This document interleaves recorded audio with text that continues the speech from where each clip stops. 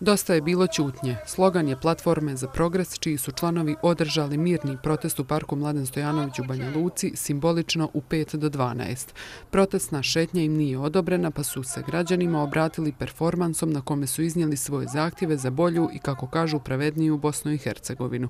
Između ostalog, traže regularne izbore, elektronsko glasanje, uključivanje dijaspore u politiku BiH, smanjenje plata političarima. Zahtjevi su, stvarno se odnose naši zahtjevi na cijelu državu, na sve građane, bez obzira ko su. Šta su, pokušamo da nađemo probleme, životne probleme koji utiču na sve, sve ostale stvari, pitanje identiteta, to je osobno.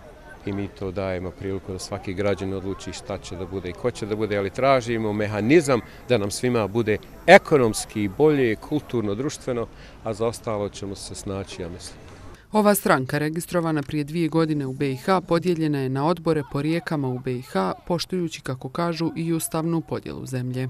Prihvatamo mi e, organizaciju, strukture države koja je u našem ustavu i, Dayton, i po Dejtonskom sporazumu svakako, ali pokušavamo da napravimo regije koje prelaze Um, Um, entitetske linije i kantonalne linije da bi ljudi počeli da se integrišu i razgovaraju zajedno o ekonomskim problemima, društvenim, ekološkim i tako dalje.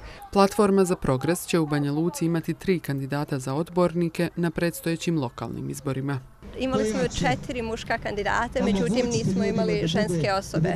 Pa po pravilima CIKA moralo se dva kandidata, muška kandidata da otpadnu, a, tako da smo napravili listu od tri kandidata.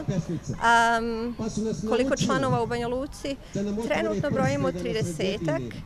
Stranka pod nazivom Platforma za progres održala je proteste i u Mostaru, Sarajevu, Bihaću, Tuzli, Brčkom, a u planu su protesti i u Zenici, Trebinju, Goraždu, te opet u Mostaru i Sarajevu.